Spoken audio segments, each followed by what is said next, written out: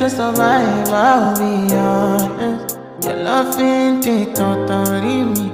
I am so obsessed. I want to chop your kobe. Ule, oh, your body dey make me